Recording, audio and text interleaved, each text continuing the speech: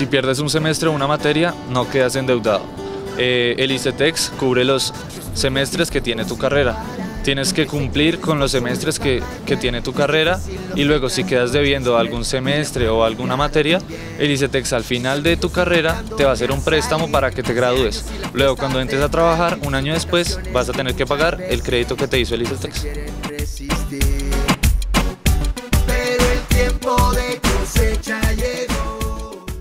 Todos por un nuevo país.